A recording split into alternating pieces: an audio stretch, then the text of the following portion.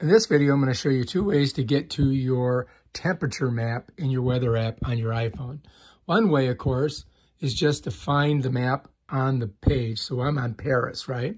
So if I slide down, there it is. I can just tap it and bam, we're right in the temperature. You can see it right there. It tells the temperature.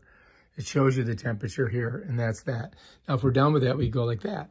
Now, another way you can go to it is all you do is you just come down to this icon down here and click it and bam, it takes you to the same page. And that's how you get to your temperature map on your iPhone weather app. If you like this video, subscribe to my channel and check out my other awesome videos where I show you how to do stuff with your iPhone. Peace out.